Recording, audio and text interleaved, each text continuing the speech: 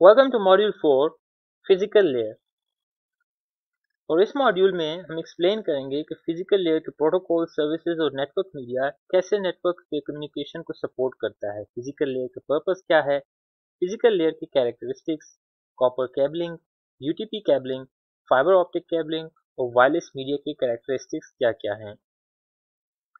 तो physical layer एक important aspect है दो डिवाइसेस के बीच में कम्युनिकेशन को इस्टेब्लिश करने के लिए। अगर दो डिवाइसेस आपस में कम्युनिकेशन करना चाहते हैं तो उनके बीच में एक फ़िज़िकल कम्युनिकेशन का फ़िज़िकल कनेक्शन इस्टेब्लिश होना बहुत ज़रूरी है। और फ़िज़िकल कनेक्शन इस्टेब्लिश करने के लिए आपके पास वायर्ड या वायरलेस मीडिया का होना ज़रूरी है। और उस वायर्ड या वायरलेस मीडिया के साथ कनेक्ट होने के लिए एंड डिवाइसेस के पास network interface cards network interface card या एन ऐसे होने चाहिए जो कि उस फ़िज़िकल मीडिया वायर्ड हो या वायरलेस को सपोर्ट कर सके और उसके साथ कनेक्ट हो सके। नेटवर्क इंटरफेस कार्ड जो है वो कुछ डिवाइसेस में सिंगल नेटवर्क इंटरफेस कार्ड होता है, जैसे यूजुअली होस्ट डिवाइसेस होते हैं और जो इंटर इंटरमीडियरी डिवाइसेस हैं, उसमें usually multiple network interface card होते हैं, जिस तरह स्विचेस या राउटर्स हो गए।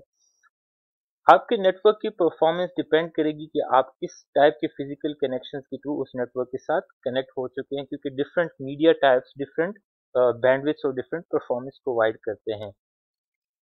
फ़िज़िकल लेयर का पर्पज ये है कि आपके पास जो डेटा ओ एस लेयर में एप्लीकेशन लेयर पर जो आपने क्रिएट किया है यूज़र डेटा और उसको आपने ट्रांसमिट करना है किसी दूसरी डिवाइस तक तो इसकी इनकेप्सुलेशन होती रहती है। फॉर एग्जांपल पहले टीसीपी लेयर पर उसकी टीसीपी सेगमेंट होती है, फिर आईपी आईपी पैकेट अपना हेडर ऐड करके उसकी इनकेप्सुलेट करता है आईपी पैकेट में।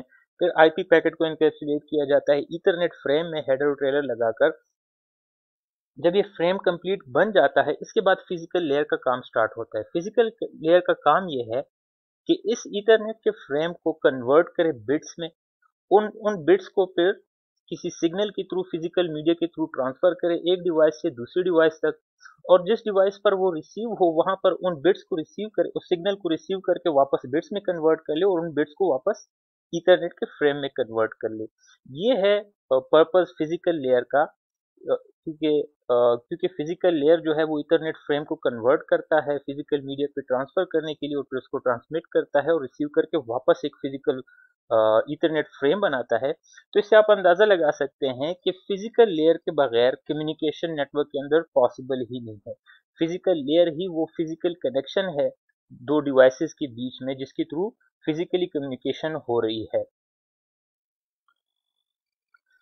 तो फ़िज़िकल लेयर के कुछ कैरेक्टरिस्टिक्स देखते हैं। टीसीपी आईपी लेयर में जितनी भी लेयर्स हैं उन सब लेयर्स को जो गवर्निंग बॉडी गवर्न करके उसके स्टैंडर्ड स्टैब्लिश करती है वो है आई e और ये एक ही बॉडी है इन तमाम लेयर्स के लिए। वो इसलिए कि तमाम लेयर्स इन तम, इन तमाम लेयर्स में जितने प्रोटोकॉल स्टैंडर्ड्स हैं वो सारे के सारे सॉफ्टवेयर में इम्प्लीमेंट हो रहे हैं। फ़िज़िकल लेयर में क्योंकि हार्डवेयर कंपोनेंट इन्वॉल्व है उसमें मल्टीपल फैक्टर्स इन्वॉल्व हैं डिफरेंट चीज़ें हैं तो इसमें बहुत सारी गवर्निंग बॉडीज इन्वॉल्व हैं। इसमें नॉमिनल जो नोटेबल ऑर्गेनाइजेशन हैं, वो है ई आई ए टी आई ए और आई ट्रिपल ई है जो इनके कंपोनेंट्स और स्टैंडर्ड्स को एड्रेस करते हैं। तो फ़िज़िकल लेयर के स्टैंडर्ड्स को एड्रेस करने के लिए हमारे पास तीन फंक्शनल एरियाज़ हैं जिन पर ये गवर्निंग बॉडीज फोकस करती है। इसमें सबसे इंपॉर्टेंट जो पहला फंक्शनल एरिया है, वो है फ़िज़िकल कंपोनेंट्स का। फ़िज़िकल कंपोनेंट से मुराद है वो hardware devices media connectors signals network interface cards connectors cable का मटेरियल और केबल का डिज़ाइन जिसके थ्रू हम फ़िज़िकल कनेक्शन बनाते हैं, ये तमाम चीज़ें जो कि एंड डिवाइसेस पे कनेक्टेड हैं और बीच में मीडिया है, उसके जो टाइप्स हैं, उसकी प्रॉपर्टीज़ हैं, वो सारे के सारे फ़िज़िकल कंपोनेंट्स में आते हैं और ये फ़िज़िकल तमाम फ़िज़िकल कंपोनेंट्स इनके स्टैंडर्ड बनाना, इन गवर्निंग बॉडीज़ का काम है कि ये एक खास स्टैंडर्ड के होने चाहिए ताकि नेटवर्क के अंदर तमाम डिवाइसेस के साथ कम्युनिकेट कर सके, उस पर डेटा ट्रांसफ़र कर सकें। दूसरा फंक्शनल एरिया हमारे पास है इंकोडिंग का। इंकोडिंग का मतलब ये है कि जब हम फ्रे हमने फ्रेम को बिट्स में कन्वर्ट कर लिया तो बिट्स क्या है हमारे पास? दो डिफरेंट स्टेट्स हैं ज़ीरो और वन इन ज़ीरो वंस को ट्रांसफ़र करने की या ट्रांसमिट करने से पहले हम इसको किसी प्रिडिक्टेबल पैटर्न या रिकॉग्नाइजेबल पैटर्न में कन्वर्ट करते हैं, जिसको हम इनकोडिंग कहते हैं। फॉर एग्जांपल यहाँ पर जो आप एक एग्जांपल देख सकते हैं, ये है Manchester encoding scheme Manchester encoding scheme data को रिप्रेजेंट करने के लिए इनकोड करने के लिए ज़ीरो को रिप्रेजेंट करता है हायर वोल्टेज से लोअर वोल्टेज में ट्रांजिशन के थ्रू और वन को रिप्रेजेंट करता है लोअर वोल्टेज से हायर वोल्टेज में ट्रांजिशन के थ्रू हमारे जो मीडिया होगा उसमें, हमारे मीडिया कितनी बैंडविथ कितनी ज़्यादा बैंडविथ प्रोवाइड करता है, उसकी परफॉर्मेंस क्या है, उस मीडिया के अंदर एरर करेक्शन और एरर डिटेक्शन की टेक्निक्स कितनी यूजेबल है या ऑल या है भी या नहीं है, वो डिपेंड करता है इस इनकोडिंग स्कीम पर। इस इनकोडिंग स्कीम में हम एक बिट को किसी एक सिग्नल के थ्रू रिप्रेजेंट कर सकते हैं, या डिफरेंट बिट्स का एक ग्रुप बनाकर भी किसी एक सिग्नल के थ्रू रिप्रेजेंट कर सकते हैं। मानचेस्टर स्कीम हमारे पास older ethernet local area network technologies में यूज़ होता था, जहाँ पर हमारे पास 10 एम के, और मानचेस्टर मानचेस्टर इनकोडिंग स्कीम के थ्रू हम सिर्फ़ 10 एमबी के बैंडविथ को ही प्रोवाइड सपोर्ट कर सकते थे।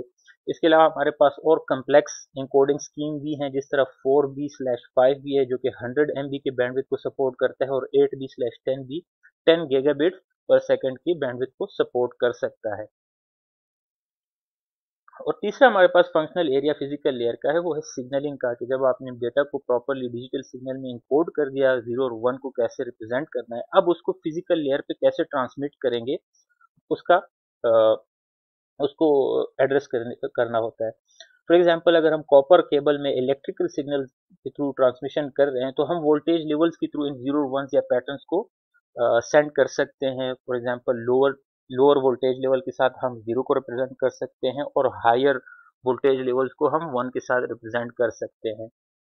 अगर हम फाइबर ऑप्टिक यूज़ करें ट्रांसमिशन के लिए तो हम इसमें रिप्रेजेंट कर सकते हैं ज़ीरो को एक शॉर्ट पल्स के थ्रू एक शॉर्ट लाइट जहाँ पे शॉर्ट लाइट पल्स आएगा, वो ज़ीरो कंसिडर होगा। जहाँ पर लॉन्गर लाइट पल्सेज आएँगे, उसको वन हम कंसिडर करेंगे। इसी तरह वायरलेस मीडिया में हम इस डिजिटल सिग्नल को, जो कि हमने पैटर्न क्रिएट किया है कि ज़ीरो वन को कैसे इनकोड किया है, कैसे रिप्रेजेंट करना है, उसको जब हम एक्चुअली ट्रांसमिट करेंगे वायरलेस मीडिया में तो हमारे पास तीन टेक्निक से हम एम्पलीट्यूड मॉडुलेशन कर सकते हैं, जिसमें हम एम्पलीट्यूड के थ्रू लोअर एम्पलीट्यूड के थ्रू ज़ीरो को रिप्रेजेंट करते हैं और हायर एम्पलीट्यूड के थ्रू हम वन को रिप्रेजेंट कर सकते हैं। या फ्रीक्वेंसी मॉडुलेशन में हम लोअर फ्रीक्वेंसी के थ्रू ज़ीरो को रिप्रेजेंट करते हैं और हायर फ्रीक्वेंसी के थ्रू वन को रिप्रेजेंट कर सकते हैं। इसी तरह फ़ेज़ मॉड्यूलेशन में हम डिफरेंट फेजेस के थ्रू डिफरेंट स्टेट्स को रिप्रेजेंट कर सकते हैं। जब भी हम किसी मीडिया की परफॉर्मेंस की बात करेंगे, उसकी परफॉर्मेंस को चेक करना चाहते हैं तो हमारे पास एक कैरेक्टरिस्टिक्स है मीडिया का, वो है बैंडविथ उस मीडियम का। मीडियम के बैंडविथ से मुराद ये है कि उस मीडियम के पास कितनी कैपेसिटी है, या इन अदर वर्ड्स उस मीडियम में एक स्पेसिफिक अमाउंट ऑफ़ टाइम में वो मीडिया कितनी कैपेसिटी या डेटा ट्रांसफ़र रेट को सपोर्ट कर सकता है। इसको यूजुअली हम बिट्स पर सेकंड में रिप्रेजेंट करते हैं, या अगर हायर बैंडविड्स हों तो किलो बिट्स मेगा बिट्स और गेगा बिट्स या टेरा बिट्स पर सेकंड में हम रिप्रेजेंट कर सकते हैं। बैंडविथ यूजुअली कंफ्यूज होता है स्पीड के साथ। बैंडविथ और स्पीड में बहुत बड़ा फ़र्क है। और इस फ़र्क को समझने के लिए अगर हम फाइबर ऑप्टिक के एग्ज़ाम्पल लें और उसको इमेजिन कर लें तो थोड़ा ईजी हो जाएगा। तो फॉर एग्ज़ाम्पल फाइबर ऑप्टिक के केस में हम एक बिट को रिप्रेजेंट करते हैं एक सिंगल पल्स के थ्रू। अब पल्स की स्पीड एक लोकेशन से दूसरी लोकेशन तक पहुँचने में वो हमेशा कांस्टेंट रहेगी और वो स्पीड होगी स्पीड ऑफ़ लाइट क्योंकि फाइबर ऑप्टिक में हम, हमारे पास जो लाइट पल्स है वो लाइट से बना है, वो लाइट ही है बेसिकली तो वो स्पीड ऑफ़ लाइट के साथ ट्रेवल करता है और वो स्पीड ऑफ़ लाइट हमेशा कांस्टेंट रहता है, वो चेंज नहीं हो सकता। ये हो गई उसकी स्पीड। बैंडविथ को समझने के लिए आप ये समझ लें कि उस ये स्पीड जो स्पीड ऑफ़ लाइट है ये किसी चीज़ पे डिपेंड नहीं करती वो लाइट की कैरेक्टरिस्टिक्स है। बैंडविथ जो है वो डिफरेंट प्रॉपर्टीज़ फ़िज़िकल मीडिया जो है हमारे पास फाइबर ऑप्टिक है उसमें डिफरेंट कंपोनेंट्स जो लगे हैं वो उस पर डिपेंडेंट है। फॉर एग्ज़ाम्पल हमारे फाइबर ऑप्टिक में लेजर लगा है या एलईडी लगा है लाइट पल्स को जनरेट करने के लिए और उस लेजर या एलईडी की आ, के पास कितनी कैपेसिटी है कि वो एक सेकेंड में कितने पल्सेस जनरेट कर सकता है। अगर एक पल्स जनरेट कर रहा है तो वो वन बिट पूरे सेकंड में अगर वो सिर्फ़ एक पल्स जनरेट कर सकता है तो वो वन बिट पर सेकंड उसकी बैंडविथ होगी। हाल दो उसकी स्पीड वही कांस्टेंट है। अगर वो hundred bits hundred pulses create कर सकते हैं एक सेकंड के अंदर तो उसकी बैंडविथ होगी हंड्रेड बिट्स पर सेकंड क्योंकि हर बिट अगर हर बिट जो है वो सिर्फ़ एक ही, अगर हर पल्स एक ही बिट को रिप्रेजेंट कर रहा है तो 100 बिट पर सेकंड और अगर 1000 पल्सेस जनरेट कर सकता है वो एक सेकंड में तो उसके बैंडविथ होगी 1000 बिट्स पर सेकेंड तो बैंडविथ जो है वो फ़िज़िकल कंपोनेंट्स पे डिपेंड करता है ट्रांसमीटर की क्वालिटी पे डिपेंड करता है रिसीवर की क्वालिटी पे डिपेंड करता है, क्या वो थाउज़ेंड बिट्स जो ट्रांसमीटर ट्रांसमिट कर रहा है, क्या रिसीवर थाउज़ेंड बिट्स या थाउज़ेंड फ्लक्चुएशन को डिटेक्ट कर सकता है तो इन चीज़ों पे बैंडविथ डिपेंड करती है तो बैंडविथ जो है वो कैपेसिटी है मीडिया की कि वो पर सेकंड कितना डाटा एक जगह से दूसरी जगह कैरी कर सकता है और स्पीड उसकी सिर्फ़ डाटा ट्रैवलिंग की स्पीड जो कि हमेशा कांस्टेंट रहती है, वो फ़िज़िकल इन्वायरमेंट या फ़िज़िकल प्रॉपर्टीज़ पे डिपेंड नहीं करती। बैंडविथ अगेन बैंडविथ की अपनी परफॉर्मेंस होती है। बैंडविथ की परफॉर्मेंस को नोट डाउन करने के लिए या बैंडविथ की परफॉर्मेंस चेक करने के लिए हमारे पास तीन टर्म्स हम यूज़ करते हैं, जिसमें सबसे पहला है लेटेंसी लेटेंसी को आप सिंपली डिले कह सकते हैं। लेटेंसी वो टाइम है अमाउंट ऑफ़ टाइम है, जिस टाइम में एक बिट जो है या डेटा एक लोकेशन से दूसरी लोकेशन तक पहुँचता है। अगेन फाइबर ऑप्टिक की एग्जांपल लेते हैं कि अगर हम गूगल के साथ कम्युनिकेशन कर रहे हैं और हम कराची से कैलिफ़ोर्निया कैलिफ़ोर्निया जहाँ पर गूगल के सर्वर्स पड़े हैं तो हम फाइबर ऑप्टिक के थ्रू कम्युनिकेशन कर रहे हैं अंडर सी केबल्स के थ्रू तो हमारा एक बिट या हमारा डेटा कराची से गूगल तक कराची से कैलिफ़ोर्निया तक पहुँचने में जितना उसका स्पीड ऑफ़ लाइट के थ्रू कम्युनिकेशन तो हो रही है, एक पल स्पीड ऑफ़ लाइट के थ्रू कम्युनिकेट कर रहा है, कराची से कैलिफ़ोर्निया तक पहुँच रहा है। लेकिन बीच में तो जो स्पीड ऑफ़ लाइट के थ्रू कम्युनिकेशन करे तो उसकी अपनी एक डिले होगी। For example ten millisecond उसे लगते हैं स्पीड ऑफ़ लाइट को कराची से कैलिफ़ोर्निया तक पहुँचने में।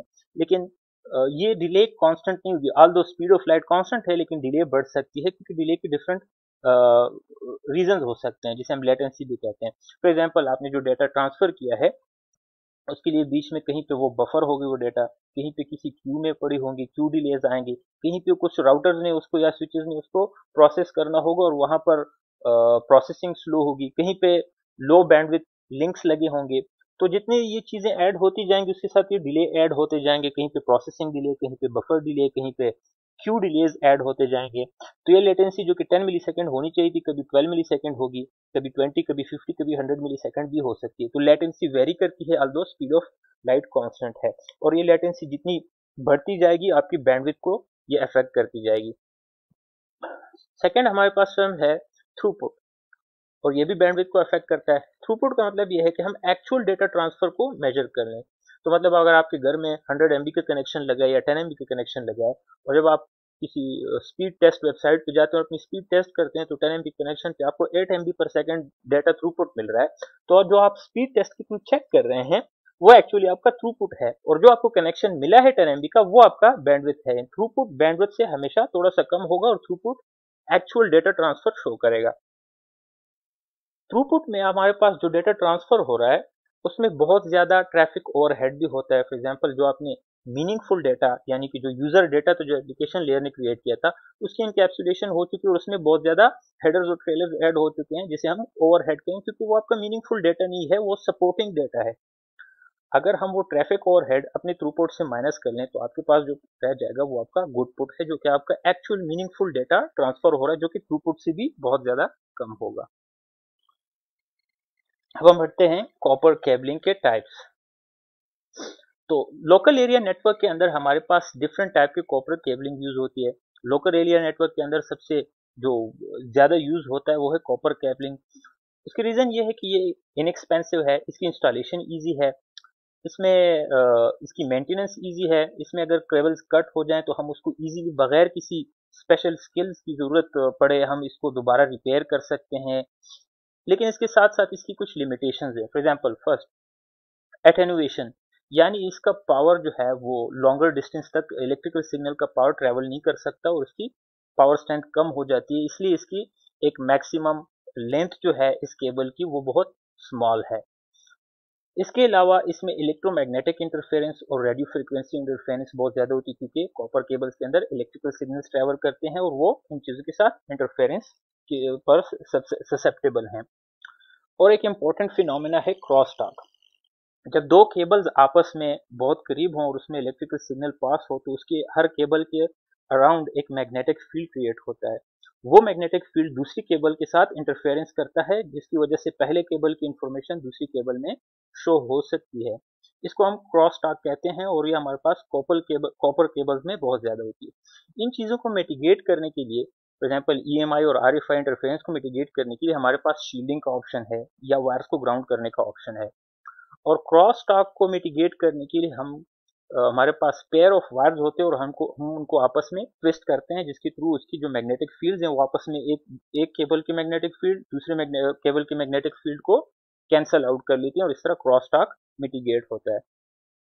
कॉपर पेयर में हमारे पास तीन टाइप्स के हैं। एक है अनशील्डेड ट्विस्टेड पेयर जिसमें फोर पेयर ऑफ़ केबल्स होते हैं टोटल एट पेयर होते हैं, और वो आपस में, हर पेयर आपस में ट्विस्ट होता है। एग्जैक्टली exactly इसी तरह का दूसरा केबल है, जिसे हम शील्डेड ट्विस्टेड पेयर कहते हैं, या एस कहते हैं, जो कि एग्जैक्टली exactly यही केबल है, जिसमें एक्स्ट्रा इंसुलेशन शील्ड होते हैं, एक ओवरऑल शील्ड होता है, और उसके बाद कुछ सेपरेटर्स या सेपरेट शील्ड्स भी हो सकते हैं हर पेयर पर। ये ज़्यादा महँगा होता है, लेकिन हम ये यूज़ नहीं करते, सिर्फ़ उन जगहों पर यूज़ करते हैं जहाँ पर हमारे बहुत ज़्यादा हैवी इलेक्ट्रोमैग्नेटिक या रेडियो फ्रिक्वेंसी इंटरफेरेंस हो। यूजुअली हम लोकल एरिया नेटवर्क्स में अनशील्डेड ट्विस्टेड पेयर या यूटीपी केबल यूज़ करेंगे। इसी तरह कोएक्सियल केबल भी कॉपर केबल है। लेकिन इसका यूजेज बहुत लिमिटेड हो गया लोकल एरिया नेटवर्क में हम इसको यूज़ नहीं करते। क्योंकि हम इसको कैमरा नेटवर्क केबल टीवी और एंटीनस को कनेक्ट करने के लिए यूज़ करते हैं। अनशील्डेड ट्विस्टेड पेयर के तीन कैरेक्टरिस्टिक्स हैं। पहला इसका आउटर जैकेट है, जो इसको फ़िज़िकल डैमेज से बचाता है। दूसरे इसके ट्विस्ट हैं, जो कि क्रॉस टॉक को रिड्यूस करता है। और तीसरा इसके कलर कोड्स हैं। कलर कोडेड के थ्रू हम इसके पेयर्स को आइडेंटिफाई कर सकते हैं। इसी तरह शील्डेड ट्विस्टेड पेयर में दो एक्स्ट्रा चीज़ें इसमें एक आउटर जैकेट आउटर जैकेट के बाद हमारे पास एक ब्रेडेड और फॉइल शील्ड होता है। ईएमआई और एफ़ को रिड्यूस करने के लिए हैवी ईएमआई सिग्नल जहाँ पे हो वहाँ पर। और फिर हर पेयर के ऊपर एक एक्स्ट्रा और शील्ड है, जिसे हम फॉइल शील्ड कहते हैं। क्वेक्सिल केबल में भी इसी तरह एक आउटर जैकेट है, दूसरा एक वूवन कॉपर ब्रेड है तीसरा इंसुलेशन है प्लास्टिक इंसुलेशन है और चौथा हमारे पास कॉपर कंडक्टर है जिसके थ्रू एक्चुअल सिग्नल ट्रांसफ़र होता है। इसमें सबसे फ़ेमस कनेक्टर टाइप जो कि एंड पे यूज़ होते हैं, इसको इन केबल को टर्मिनेट करने के लिए और डिवाइस के साथ कनेक्ट होने के लिए वो है बी तो आपके पास जो भी नेटवर्क इंटरफेस कार्ड होंगे तो आप जिस टाइप का मीडिया यूज़ कर रहे हैं, उस नेटवर्क इंटरफेस कार्ड में उस केबल का या उस मीडिया का सपोर्ट होना चाहिए। तो पहले जब हम लोकल एरिया नेटवर्क में कोएक्सियल केबल यूज़ करें तो हमारे पास ऐसे नेटवर्क इंटरफेस कार्ड होते जहाँ पर बीएनसी का प्लग होता था और वहाँ पर बीएनसी कनेक्टर कनेक्ट हो सकते थे। तो चूँकि हम यूटीपी केबल सबसे ज़्यादा यूज़ करते हैं लोकल एरिया नेटवर्क्स को बनाने के लिए, इसलिए हम यूटीपी केबल के डिटेल्स देखते हैं। यूटीपी केबल के अंदर हमारे पास फोर पेयर्स हैं। और हर पेयर कलर कोडेड हैं आपस में और इन पेयर में एक पॉजिटिव वायर होगा और एक नेगेटिव वायर होगा। और इन पॉजिटिव और नेगेटिव वायर के में अपने क्रॉस टॉक को कैंसिल आउट करने के लिए इनमें स्पेसिफिक लेंथ के ट्विस्ट होंगे। आप देख सकते हैं कि हमारे पास ऑरेंज पेयर जो है उसके ट्विस्ट बहुत लेंथी हैं। और जो हमारे पास ब्लू पेयर है उसके ट्विस्ट बहुत टाइट है। ये डिपेंड करता है उस वायर के कैरेक्टरिस्टिक्स और उस पर जो सिग्नल ट्रेवल करता है उस पर डिपेंड करता है और जो गवर्निंग बॉडीज हैं उन्होंने ये स्पेसिफिक ट्विस्ट लेंथ डिफाइन किए हैं पहले से। यूटीपी केबलिंग के स्टैंडर्ड्स में डिफाइन uh, होता है स्पेसिफिकली जो इसका स्टैंडर्ड डिफाइन है वो स्टैंडर्ड है वो है T I S slash E I eight 568 जो कि यूटीपी केबल्स को स्टैंडर्ड को डिफाइन करता है इसमें। केबल किस टाइप की होनी चाहिए? केबल का मैक्सिमम लेंथ कितना कितना होना चाहिए? उसके कनेक्टर किस टाइप का होना चाहिए? केबल टर्मिनेशन का प्रोसेस क्या होना चाहिए? और उसके कौन से टेस्टिंग मेथड्स होने चाहिए? तो हमारे पास सबसे पुराना जो है, वो है कैटेगरी थ्री केबल यूटीपी इसमें आप देख सकते हैं कि स्टेटमेंट इस स्टैंडर्ड में हमारे पास ट्विस्ट नहीं थे पेयर्स के अंदर इस वजह जिसकी वजह से ये हायर बैंडविथ को सपोर्ट नहीं कर रहा था।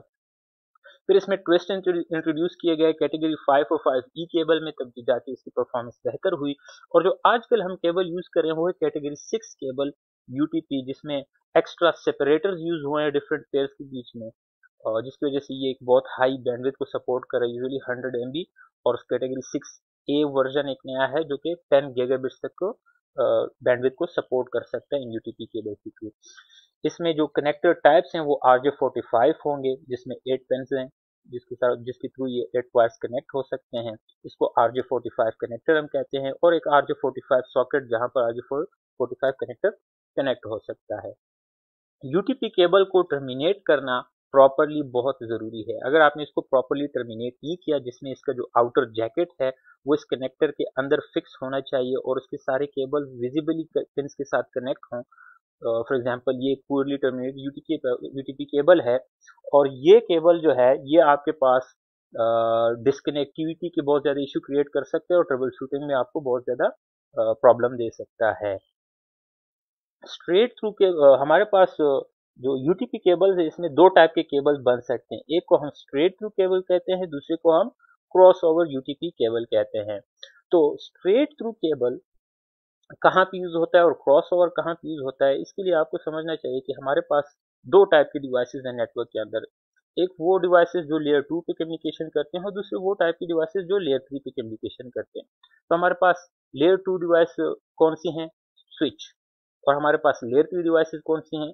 ऑलमोस्ट ऑल अदर डिवाइसेज जिसमें होस्ट भी आ गया और राउटर्स भी आ गए होस्ट भी लेयर थ्री पे कम्युनिकेशन कर सकते हैं राउटर भी लेयर थ्री पे कम्युनिकेशन कर सकते हैं। सिर्फ़ स्विच हमारे पास ऐसी डिवाइस है जो कि लेयर थ्री पे कम्युनिकेशन नहीं कर सकती और वो लेयर टू पे कम्युनिकेशन कर सकती है। तो जहाँ पर हमने डिफरेंट डिवाइसेज यानी लेयर थ्रू लेयर थ्री और लेयर टू डिवाइसेज को आपस में कनेक्ट करना होगा तो हम स्ट्रेट थ्रू केबल यूज़ करेंगे। फॉर एग्ज़ाम्पल एक होस्ट को स्विच के साथ कनेक्ट करना है। होस्ट लेयर थ्री डिवाइस है स्विच लेयर टू डिवाइस है तो हमें स्ट्रेट थ्रू केबल चाहिए होगा। अगर हमने होस्ट को राउटर के साथ कनेक्ट करना है तो आल दो नाम डिफरेंट हैं, लेकिन होस्ट भी लेयर थ्री पे काम करता है राउटर भी लेयर थ्री पे काम करता है तो उसके लिए हमें स्ट्रेट टू केबल नहीं, बल्कि क्रॉस ओवर केबल की ज़रूरत होगी। देखिए क्रॉस ओवर केबल कहाँ हम यूज़ करेंगे? जब सिमिलर डिवाइसेस आपस में कम्युनिकेट करेंगे। होस्ट टू होस्ट यानी layer three to layer three communication तो cross over switch to switch यानी सिमिलर डिवाइसेस हैं layer two to layer two communication करेंगे तो cross over router to router भी क्रॉस ओवर अगर राउटर टू होस्ट कम्युनिकेशन हो, तब भी क्रॉस ओवर क्योंकि दोनों लेयर थ्री डिवाइस हैं। सिर्फ़ और सिर्फ़ जब हम स्विच को राउटर के साथ या स्विच को होस्ट के साथ कम्युनिकेशन करवाने के लिए कनेक्शन बनाएँगे तो वो स्ट्रेट थ्रू होगा। इसके अलावा हमारे पास एक और केबल टाइप है रोल ओवर जो कि सिस्को प्रोपराइटरी था और कंसोल केबल में यूज़ होता था। वो अब लेगेसी हो गया, उसे हम नहीं यूज़ करते। और इसके अलावा हमारे पास एक और चीज़ है मॉडर्न कंप्यूटर नेटवर्क्स में या मॉडर्न डिवाइसेस में, जिसको हम कहते हैं auto M D I X M D I X से बनता है मीडिया डिपेंडेंट इंटरफेस और एक्स का मतलब है क्रॉस ओवर और ये ऑटो है। हमारे पास जितनी भी इंटरफेसेस आजकल आ रहे हैं वो इंटेलिजेंट हैं और auto M D I X का फीचर उनमें इनेबल होता है।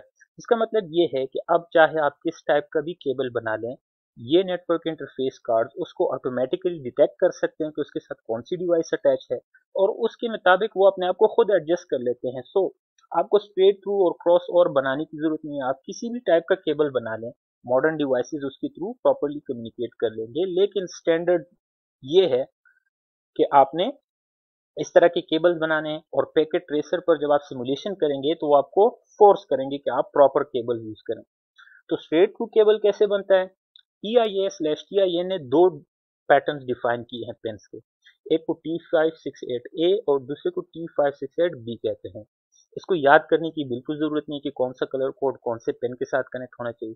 बस हमारे पास अगर आपने स्ट्रेट थ्रू केबल बनाना है तो स्ट्रेट थ्रू केबल का मतलब ये है कि आपके केबल का एक एंड जब पे टर्मिनेट हो रहा है, उसका पैटर्न और दूसरी एंड पे जो पैटर्न है, वो दोनों सेम होने चाहिए। या अगर आप स्टैंडर्ड्स को फॉलो कर रहे हैं तो अगर आपने एक एंड जो है वो ए टाइप का बनाया है तो दूसरा एंड भी ए टाइप का होना चाहिए। अगर एक एंड बी का बनाया है तो दूसरा एंड भी बी का होना चाहिए। और अगर आप क्रॉस ओवर बना रहे हैं तो एक एंड टाइप ए का बना लें, दूसरा एंड टाइप बी बी का बना लें। और अगर आप ये भी याद नहीं रखना चाहते तो आपसे एक सिर्फ़ एक नंबर याद रखें, वो है वन थ्री टू सिक्स जिसका मतलब ये है कि आपका एक एंड का पेन नंबर वन जो है, वो दूसरे पेन के पेन नंबर थ्री के साथ कनेक्ट होना चाहिए और पेन नंबर टू जो है, वो पेन नंबर थ्री के साथ कनेक्ट होना चाहिए। So that's it for straight through and crossover UTP cable ज़रूरी नहीं है कि आप इसको याद रखें लेकिन इस स्टैंडर्ड को अगर आप फॉलो करें तो आपको ट्रबल शूटिंग ईजी होगी क्योंकि कुछ नेटवर्क्स में ऐसे लेगेसी डिवाइसेस आ जाते हैं जो कि ऑटो एम को सपोर्ट नहीं करते तो उस केस में आपको प्रॉपर केबलिंग करने की ज़रूरत होगी जहाँ पर स्ट्रेट थ्रू की ज़रूरत हो वहाँ पे उस टाइप की केबल बनानी पड़ेगी। सो okay. so, अब देखते हैं फाइबर ऑप्टिक केबलिंग को। तो fibre optic cabling UTP cabling की तरह फ़ेमस नहीं और कॉमन नहीं लोकल एरिया नेटवर्क्स में, लेकिन उसका उसका रीज़न ये है कि इसमें बहुत ज़्यादा एक्सपेंसेस इन्वॉल्व हैं और कुछ टेक्निकल स्किल्स इन्वॉल्व हैं। लेकिन ये कुछ स्पेसिफिक सिनारियोज में यूज़ होता है, जैसे कि लॉन्गर डिस्टेंस कम्युनिकेशन आपको चाहिए और बहुत हायर बैंडविथ चाहिए हो तो आप फाइबर ऑप्टिक को यूज़ करेंगे। इसका फ़ायदा ये है कि इसमें अटेनुएशन बहुत कम होती है, यानी पावर सिग्नल इसका बहुत लॉन्ग डिस्टेंस तक यूज़ हो सकता है, कम नहीं होता। और ये ई e और आर एफ़ आई इंटरफेरेंस इसमें नहीं होती क्योंकि इसमें हम लाइट पल्सिस यूज़ कर रहे हैं इलेक्ट्रिक या इलेक्ट्रोमैग्नेटिक वेव्स यूज़ ही नहीं हो रहे हैं। इसमें ये प्योर ग्लास से बना होता है फ्लेक्सिबल होता है, हम इसको इजीली मूव कर सकते हैं। इसमें जो लाइट पल्स जनरेट करते हैं, उसमें आइधर लेजर यूज़ हुआ होगा, अगर हाई क्वालिटी केबल यूज़ करें और अगर लो क्वालिटी केबल यूज़ करें तो एलईडी के थ्रू भी हम लाइट लाइट पल्सेस जनरेट कर सकते हैं। फाइबर ऑप्टिक्स हमारे पास दो टाइप के हो सकते हैं। एक को हम सिंगल मोड फाइबर कहते हैं, दूसरी को हम मल्टी मोड फाइबर कहते हैं। सिंगल मोड फाइबर में हमारे पास एक स्मॉल ग्लास कोर होता है, जिसके थ्रू सिर्फ़ लाइट की सिर्फ़ एक सिंगल रे ही पास हो सकती है। इस वजह से हम इसके एंड पे लेजर यूज़ करते हैं हाई क्वालिटी लेजर जो कि इसके थ्रू एक सिंगल बीम को पास कर सके। क्योंकि सिंगल बीम के लिए एक सिंगल पाथ है तो वो स्ट्रेट स्ट्रेट ट्रैवल करता है और इसमें डिस्पर्शन बहुत कम होती है रिफ्रैक्शन बहुत कम होती है। लेकिन इस वजह से ये एक्सपेंसिव भी है क्योंकि हाई क्वालिटी स्मॉल डायमीटर है हाई क्वालिटी लेज़र यूज़ हो रहे हैं एंड पर। और उसका फ़ायदा ये होगा कि ये लॉन्गर डिस्टेंसेस को सपोर्ट करता है हंड्रेड ऑफ़ किलोमीटर्स को सपोर्ट कर सकता है और हंड्रेड जी तक डाटा को सपोर्ट कर सकता है। इसी वजह से सिंगल मोड फाइबर जो है अंडर सी केबल्स और लॉन्ग डिस्टेंस कम्युनिकेशन के लिए यूज़ होते हैं। मल्टी मोड फाइबर जो कि यूजुअली हम शॉर्टर डिस्टेंस में यूज़ कर सकते हैं 550 मीटर इसकी मैक्सिमम लेंथ होगी, लेकिन ये 10 जीबी से ज़्यादा के बैंडविथ को सपोर्ट नहीं कर सकते। उसका रीज़न ये है कि इसका ग्लास कोर बड़ा होता है और इसके एंड पे जो लाइट पल्सिस के लिए जनरेट करने के लिए यूज़ होता है वो एलईडी है लेज़र की बजाय, जो कि इनएक्सपेंसिव है। इनएक्सपेंसिव केबल भी इनएक्सपेंसिव है एलईडी भी इनएक्सपेंसिव है। इस वजह से हम इसको लोकल एरिया नेटवर्क में यूज़ कर सकते हैं। Fibre optic cabling different network types में इसका यूजेज हो सकता है। फॉर एग्जांपल एंटरप्राइज नेटवर्क्स में हम बैकबोन केबलिंग के यूज़ कर सकते हैं, जिसमें हम डिफरेंट बैकबोन डिवाइसेस को कोर राउटर या कोर स्विचेस को आपस में कनेक्ट करते हैं। Fibre to the home technology में, जिसमें हमारे पास आजकल नया टेलोस्टॉम फाइबर है, जो कि आपके घर घर तक फाइबर ऑप्टिक की कनेक्शन पहुँचा रहे हैं। तो इस टेक्नोलॉजी को हम fibre to the home technology कहते हैं, जो कि एक इंटरनेट सर्विस प्रोवाइडर्स की टेक्नोलॉजी है। लॉन्ग हॉल नेटवर्क जिसमें डिफरेंट सिटीज़ या डिफरेंट ब्रांचेस को हम फाइबर ऑप्टिक के थ्रू कनेक्ट कर सकते हैं और ग्रेटर डिस्टेंस या सबमरीन केबल्स में जिसके थ्रू हमारे डिफरेंट कंट्रीज़ आपस में कनेक्टेड हैं अंडर सी केबल्स के थ्रू फॉर एग्जांपल कराची के थ्रू पाकिस्तान जो है almost seven undersea submarine cables के साथ पूरी दुनिया के साथ कनेक्ट हुआ है। इस कोर्स में हम यूजुअली क्योंकि हम C C N enterprise perspective से पढ़ रहे हैं तो हम इंटरप्राइज नेटवर्क के अंदर ये चीज़ें कैसे यूज़ होती है, इस पर फोकस करेंगे। जिस तरह यूटीपी का कनेक्टर था R J forty five cable का बीएनसी कनेक्टर इस तरह फाइबर ऑप्टिक के डिफरेंट कनेक्टर्स हैं, एक कनेक्टर नहीं, इसमें स्ट्रेट टिप कनेक्टर्स हैं लूसेंट कनेक्टर्स हैं simple connector straight tip connector में ट्विस्ट मैकेनिज्म के थ्रू ये लॉक होता है डिवाइस के साथ, ये पुश एंड पुल मैकेनिज्म है। सब कैरियर सब सब सब्सक्राइबर सब्सक्राइबर कनेक्टर भी पुश पुल मैकेनिज्म है, लेकिन ये थोड़ा सा स्मॉल साइज़ का होता है। और duplex multi mode LC connector है, जिसमें ये भी पुश पुल मैकेनिज्म है, लेकिन ये डुप्लेक्स मोड है और ये सिंप्लेक्स कनेक्टर है। डुप्लेक्स और सिंप्लेक्स में फ़र्क ये है कि आपको ये पता होना चाहिए कि फाइबर ऑप्टिक का एक केबल जो है वो सिर्फ़ वन डायरेक्शन पे कम्युनिकेशन कर सकता है। तो अगर हमने दो डिवाइसेस के बीच में कम्युनिकेशन करवानी है तो हमने एक फाइबर की बजाय दो फाइबर लगाने हैं। एक ट्रांसमिशन के लिए, एक रिसीविंग के लिए। इसके अगेंस्ट अगर आप यूटीपी केबल को देख लें तो उसमें एट एट वायर्स हैं तो उसमें ट्रांसमिशन रिसीविंग दोनों एक ही यूटीपी केबल के थ्रू पॉसिबल हो सकते क्योंकि हमारे पास ट्रांसमिशन रिसीविंग के लिए बहुत सारे वायर्स हैं डिफ्रेंशिएट करने के लिए। लेकिन फाइबर ऑप्टिक्स में एक फाइबर के थ्रू या ट्रांसमिशन होगी या रिसीविंग होगी। तो अगर आप दो डिवाइस के बीच में कम्युनिकेशन करवा रहे हैं और आप सिंप्लेक्स कनेक्टर यूज़ कर रहे हैं तो आपको इस तरह के दो कनेक्टर चाहिए होंगे और दो केबल्स चाहेंगे फाइबर ऑप्टिक की फुल डुप्लेक्स कम्युनिकेशन के लिए।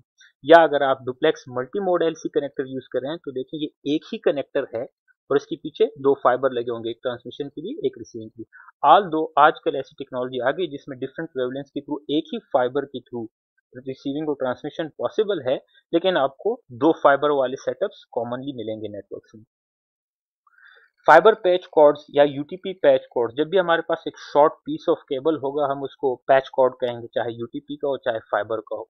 तो फाइबर पैच कॉर्ड में हमारे पास कलर कोडिंग होती है। अगर आपके पास ऑरेंज कलर का फाइबर पैच कॉर्ड है तो इसका मतलब ये मल्टी मोड है, और अगर आपके पास व्हाइट येलो कलर का पैच कॉर्ड है तो इसका मतलब है ये सिंगल मोड केबल है, और लॉन्गर डिस्टेंस तक ये काम करेगा और हायर बैंडविड्थ को सपोर्ट करेगा। फाइबर और कॉपर को अगर हेड ऑन आपस में इसका कंपैरिजन किया जा सके तो ऑब्वियसली फाइबर ऑप्टिक की स्पीड मैक्सिमम स्पीड 100 जीबी तक सपोर्ट कर सकता है यूटीपी केबल 10 जीबी तक सपोर्ट कर सकता है। यूटीपी जो है वो मैक्सिमम 100 मीटर्स तक हम यूज़ कर सकते इसके बाद में रिपीटर या स्विच की ज़रूरत होगी ताकि उसके सिग्नल को बूस्ट किया जा सके। और फाइबर ऑप्टिक अगर हम सिंगल मोड को यूज़ करें तो हम 100 किलोमीटर तक उसको यूज़ कर सकते हैं। यूटीपी केबलिंग में ईएमआई और आरएफआई इंटरफेरेंस की कोई इम्यूनिटी नहीं है, वो इससे इंटरफेरेंस होती है। इलेक्ट्रिकल हैजर्ड्स शॉक्स लग सकते हैं आपको यूटीपी केबल्स के थ्रू अगर कहीं पे शॉर्ट सर्किट हुआ है। जबकि फाइबर ऑप्टिक में ऐसी इश्यूज़ नहीं हैं, इसमें electromagnetic interference radio frequency interference नहीं हो सकती क्योंकि लाइट पल्सेज हम यूज़ कर रहे हैं। और इसमें इलेक्ट्रिसिटी इलेक्ट्रिकल हैजर्ड्स भी इन्वॉल्व नहीं क्योंकि इलेक्ट्रिसिटी इसमें यूज़ नहीं हो रही इसके अलावा मीडिया कनेक्टर का cost installation skills maintenance repair UTP cabling का बहुत चीप है और इजीली हम इस चीज़ों को मेंटेन uh, कर सकते हैं। जबकि फाइबर ऑप्टिक्स का सबसे बड़ा ड्रॉबैक ये है कि इसका इसका कॉस्ट हाई है इसका मेंटेनेंस कॉस्ट इसकी इंस्टॉलेशन कॉस्ट इसके लिए स्किल्ड पर्सनल पर्सनल्स की ज़रूरत होती है जब इसमें इश्यूज़ होती हैं और ट्रबल शूट करना पड़ जाए अगर हमें। So wireless media wireless media हमारे पास एक ऐसा मीडिया है जिसमें हम फिजिकली बाउंड नहीं होते एक लोकेशन तक और यही इसका सबसे बड़ा अट्रैक्टिवनेस अट्रैक्टिवनेस है वायरलेस मीडिया का जिसकी वजह से इसकी पॉपुलैरिटी बढ़ रही है होम नेटवर्क्स और एंटरप्राइज नेटवर्क्स में। क्योंकि इसके थ्रू हम एक नेटवर्क के साथ फिजिकली कनेक्ट भी हैं और स्टिल हमारे पास मोबिलिटी के ऑप्शन हैं। हम मूव अराउंड कर सकते हैं डिवाइसेस को फिक्स होने की ज़रूरत नहीं है यूज़र्स को फिक्स होने की ज़रूरत नहीं है। लेकिन इसके साथ साथ इसकी लिमिटेशंस भी हैं वाइड से ज़्यादा। फॉर एग्जांपल इसका कवरेज एरिया के वायरलेस वायरलेस सिग्नल जो है वो कितना एरिया कवर कर सकते हैं। ये डिपेंड करता है इन्वायरमेंट पर डिप्लॉयमेंट लोकेशन पर, वहाँ पर बिल्डिंग में कौन सा मटेरियल यूज़ हुआ है, उस इन कैरेक्टरिस्टिक्स पे, यानी आपके आउटडोर एनवायरनमेंट पे डिपेंड करता है कि आपका वायरलेस कितना कवर एरिया कवर कर सकता है। इसके अलावा वायरलेस जो है वो ईएमआई और आर एफ़ आई है इसमें बहुत ज़्यादा इंटरफेरेंस पॉसिबल है। आपके घरों में इन्वायरमेंट में ऐसी डिवाइसेस हैं जो कि वायरलेस मीडिया के साथ इंटरफेरेंस करती हैं। फॉर एग्जांपल आपके घरों में माइक्रोवेव्स हो गए या कॉर्डलेस फोन्स हो गए, जो कि यूजुअली सिमिलर फ्रिक्वेंसीज पे काम करती हैं जिसपे वाईफाई काम करता है। इसके अलावा वाईफाई के साथ साथ सिक्योरिटी एक बहुत बड़ा इशू है, क्योंकि वायरलेस कम्युनिकेशन के थ्रू कोई भी इस आपके नेटवर्क को एक्सेस कर सकता है, वहाँ पर फ़िज़िकल एक्टिविटी किए बगैर। उसको कोई वायर्ड कनेक्शन नहीं चाहिए, बस उसको वायरलेस कवरेज एरिया के अंदर आना चाहिए वो आपके वायरलेस नेटवर्क के साथ कनेक्ट हो सकता है किसी मिलिशियस इंटेंट के साथ। और wireless local area network shared medium होते हैं unlike wired connection shared medium का मतलब ये है कि इसमें हाफ़ डुप्लेक्स कम्युनिकेशन होगी, यानी एट अ टाइम सिर्फ़ एक डिवाइस कम्युनिकेट कर सकता है, बाकी डिवाइसेस कम्युनिकेट नहीं करेंगे। अगर दो devices at the same time communicate करेंगे तो कोलिजन अकर होने के चांसेस हैं। जिसकी वजह से इसमें C S M S slash C A जैसे प्रोटोकॉल का होना ज़रूरी है, जो कि इन चीज़ों को अवॉइड करें। और क्योंकि एट अ टाइम सिर्फ़ एक डिवाइस कम्युनिकेट करेगी तो आपके पास वायरलेस लोकल एरिया नेटवर्क के अंदर जितना टोटल बैंडविथ अवेलेबल है, उस पर जितने यूज़र्स बढ़ते जाएँगे, उतना वायरलेस लोकल एरिया नेटवर्क का बैंडविथ डिवाइड होता जाएगा और परफॉर्मेंस डिग्रेड होती जाएगी। हमारे पास different type of wireless medias हैं। हमारे पास I triple E eight zero two dot eleven जिसको हम यूजली वाईफाई कहते हैं, ये wireless local area network technology है जिसमें C S M S slash C A यानी कि carrier sense multiple access slash collision avoidance जैसे प्रोटोकॉल यूज़ होते हैं, जो कि इंश्योर करते हैं कि एट अ टाइम सिर्फ़ एक डिवाइस कम्युनिकेट करेगी। इसके साथ हमारे पास ब्लूटूथ एक वायरलेस टेक्नोलॉजी है, जिसे वायरलेस पर्सनल एरिया नेटवर्क कहते हैं। इसमें C S M S slash C A जैसे प्रोटोकॉल की ज़रूरत नहीं है, क्योंकि हमारे पास इसमें सिर्फ़ दो डिवाइसेस आपस में कनेक्ट होते हैं, तीसरा डिवाइस कनेक्ट नहीं हो सकता। WiMAX X wireless technology है, जो कि पॉइंट टू मल्टीपॉइंट कम्युनिकेशन करती है, और इसके थ्रू हम बहुत वाइड एरिया को कवर कर सकते हैं। यूजुअली इंटरनेट सर्विस प्रोवाइडर इसके थ्रू वायरलेसली इंटरनेट प्रोवाइड करते हैं एक सिटी के अंदर। Zigbee low data rate low power consumption internet of things devices के लिए वायरलेस स्टैंडर्ड है। इसी तरह हमारे पास सेलुलर नेटवर्क के वायरलेस स्टैंडर्ड हैं, हमारे पास सैटेलाइट के वायरलेस स्टैंडर्ड हैं, जिनको हम इस कोर्स में डिस्कस नहीं करते। वायरलेस लोकल एरिया नेटवर्क बनाने के लिए आपको पास दो चीज़ें होनी चाहिए। एक वायरलेस एक्सेस पॉइंट जो कि अपनी सर्विसेज़ ब्रॉडकास्ट करता है एक नेटवर्क के साथ फ़िज़िकल वायर के थ्रू वायरलेस एक्सेस पॉइंट आप वायर के थ्रू किसी वायर के थ्रू आपके नेटवर्क के साथ कनेक्ट होता है और वायरलेसली अपनी सर्विस प्रोवाइड करता है वायरलेस डिवाइसेस को ताकि उसके साथ वायरलेसली कनेक्ट होके फिर बैक एंड पे फिजिकली उसको कनेक्ट करते हैं अपने नेटवर्क के साथ। और जो डिवाइस इस वायरलेस एक्सेस पॉइंट के साथ कनेक्ट होने चा, होना चाहते हैं उनके पास एक वायरलेस एनआईसी एडाप्टर होना चाहिए जो कि आपके स्मार्टफ़ोन में पहले से लगा होता है। जो कि आपके लैपटॉप में पहले से लगा होता है, जो कि आपको पर्सनल कंप्यूटर्स में एक यूएसबी एक्सटेंशन के साथ एंटीना लगा के कनेक्ट करवा सकते हैं। वो आपको वायरलेस एनएससी अडेप्टर होता है, जिसके थ्रू वो वायरलेस एक्सेस पॉइंट के साथ कम्युनिकेशन करता है। वायरलेस लोकल एरिया नेटवर्क के बहुत ज़्यादा स्टैंडर्ड्स हैं। उसके वायरलेस इक्विपमेंट जब हम परचेज करते हैं, हम उसके स्टैंडर्ड और कंपेटेबिलिटी को चेक करते हैं, ताकि वो जो जो डिवाइसेज हम आपस में कम्युनिकेट करवाना चाहते हैं, वो सेम स्टैंडर्ड के हो। वायरलेस लोकल एरिया नेटवर्क पर हमारे पास एक अलग मॉड्यूल है जिसमें हम इसको बहुत ज़्यादा डिटेल में आगे जाके पढ़ेंगे। एक पैकेट ट्रेसर एक्टिविटी जो कि मैं एक अलग वीडियो में कवर करूँगा। फ़िलहाल इस वीडियो में इतना काफ़ी है। Thank you very much for watching this video मिलते हैं नए वीडियो में पैकेट ट्रेसर एक्टिविटी के साथ।